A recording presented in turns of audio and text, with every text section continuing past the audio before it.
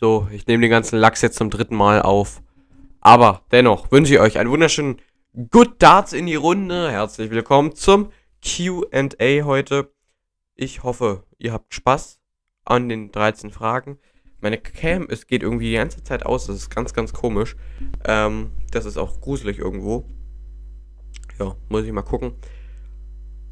Und ja, dann wünsche ich euch jetzt ganz viel Spaß mit den 13 Fragen.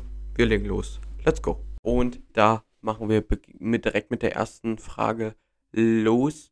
Und zwar, was ist mein Lieblingsstarter? Und ich muss sagen, ich bin ein Fan von Michael van Gerven. Also was heißt Fan, aber ich unterstütze ihn. Ich finde, den macht einen guten Job. Und der ist sehr sympathisch. Hat ein sehr krasses Mindset, was ich ziemlich, ziemlich heftig finde.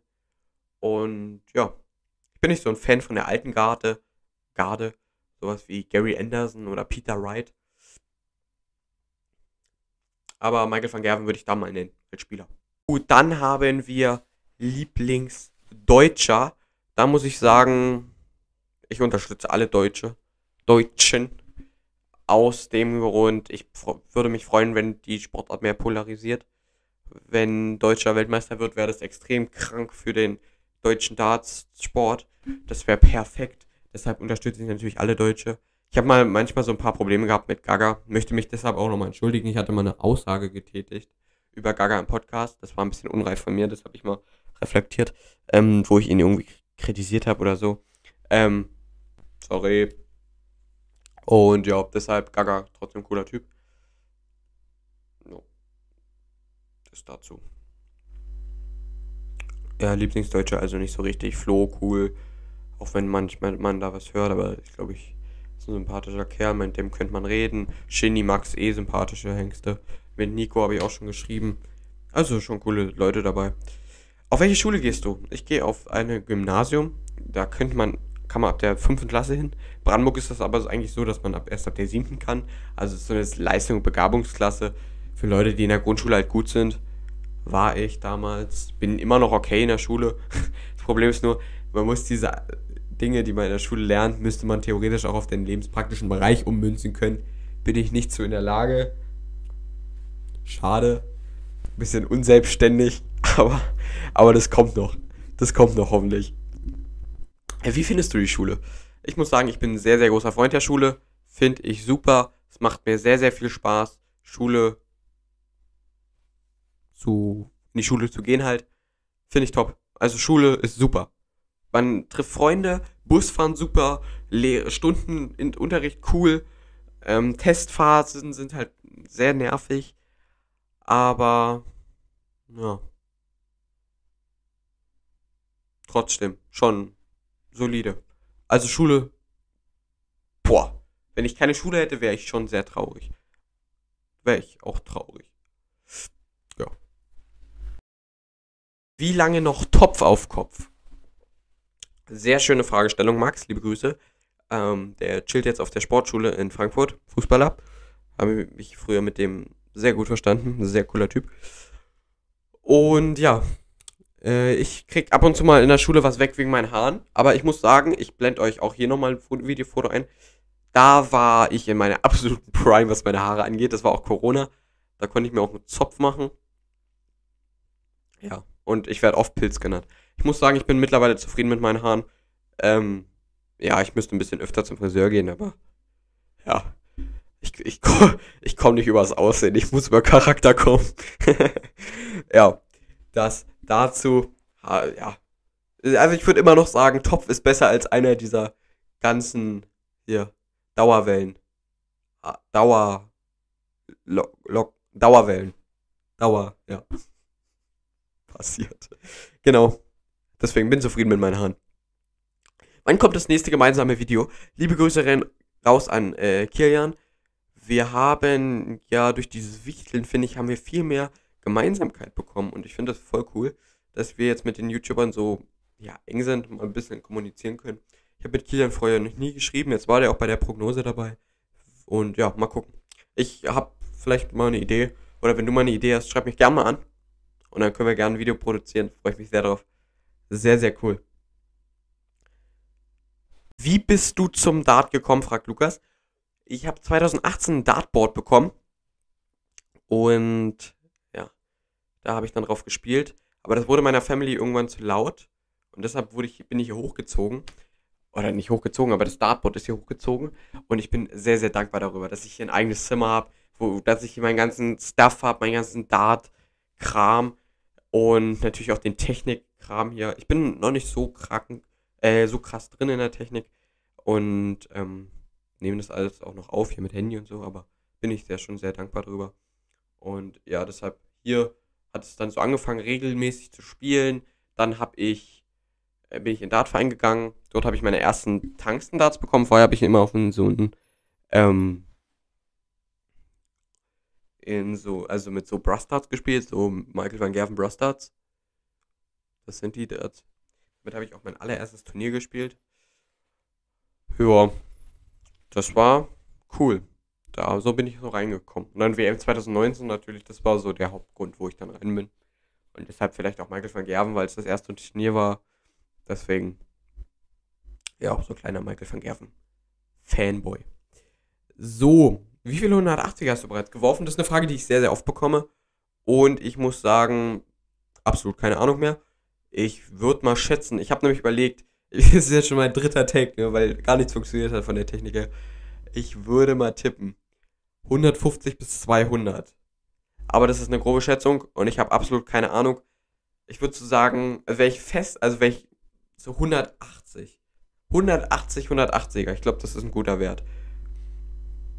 9 Data, ja, nein. Fragezeichen. Puh, ich habe, also auf gar keinen Fall habe ich 9er geworfen. auf gar keinen Fall. Ich habe mein Bestes, waren glaube ich vier perfekte Darts. Und da hat meine Hand aber auch ganz schön gezittert beim fünften Dart schon. Also muss ich ehrlich sagen. Das ist, aber es passiert bei mir schon, wenn ich meinen ersten drin habe. Bei 501 dann der erste Triple und da denke ich direkt an Neuner. Weiß ich nicht, ob das so gut ist. Und ich glaube, ein Neuner würde mich auch rausbringen. Also, nee, wäre nicht so cool. Bräuchte ich nicht. Jetzt noch nicht. Für ein Video schon. Oh mein Gott, ich habe einen neuen Data geworfen und dann ich so auf Thumbnail. Passt.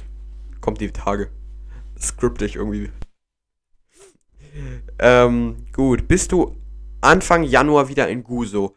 Und das fragt Moritz und Moritz, sehr, sehr cooler Typ auch jung, junger, sehr junger Spieler.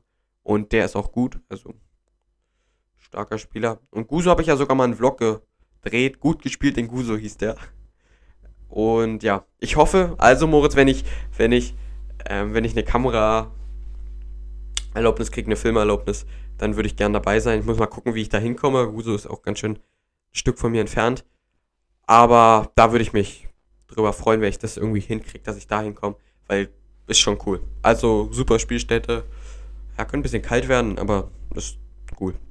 Äh, bist du Single? Liebe Grüße Nils. Ich bin. Bist du Single? Frage für einen Freund. Geil.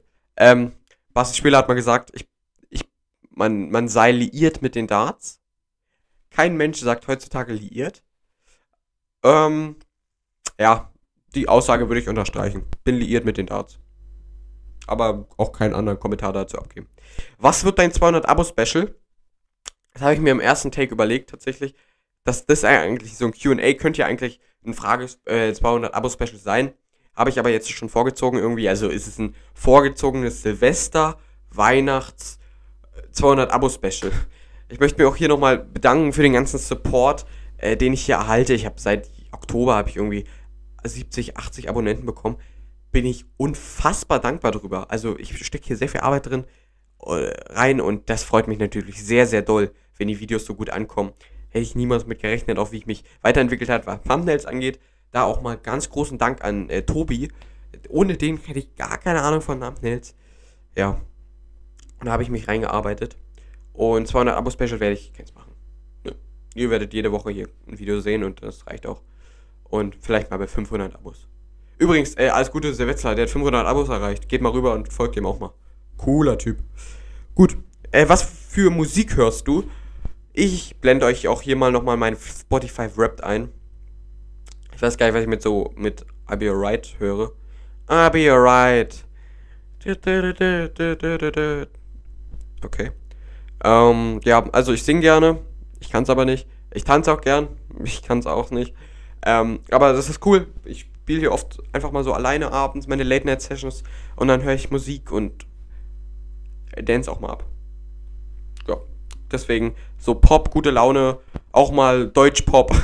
Mark Forster muss auch manchmal sein. Ja, Taylor Swift auch cool.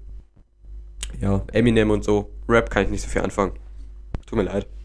Aber, ja, gibt ja auch gute Lieder sonst so. Narcotic ist, by the way, ein richtig geiles Lied. Das habe ich irgendwann mal gehört und das höre ich schon seit 2018 und so. Also, Narcotic, super Lied. Heatwave, super lieb. Äh, su super Lied. Super Lied. Und, ja, sonst gibt es noch ein paar gute Lieder. Ja, dann nächste Frage. Äh, achso, die letzte Frage. Ziel mit YouTube, Twitch, Insta. Habe ich mal von einem Lehrer gestellt bekommen, die Frage. Äh, Insta, ich habe ganz viel Meinung in meinem Kopf, die muss auch irgendwo raus. Twitch, ich versuche einfach, ist der Lauf der Zeit und da kann man auch mal ein bisschen Dart spielen, motiviert sich so. Das wegen Twitch und YouTube, weil ich mal auch dann später meine Videos angucken möchte und sagen muss, ey, krank, meine, meine Stimme hat sich so verändert. Ey, ihr hört, könnt jetzt mal, ich blende euch mal was ein, ähm, meine Stimme von einem Jahr oder so. So, einen wunderschönen guten Morgen. Und das ist heftig, oder? Wie meine Stimme, wie hoch die da war. Also, ja, da verändert sich schon ganz viel. Deshalb äh, YouTube auch. Und ich will euch natürlich auch Content generieren und das motiviert einen auch zusätzlich, wenn man weiß, okay, man muss auch ein Video machen, man muss sich mit Dart beschäftigen. Das ist schon ein wichtiges Ding.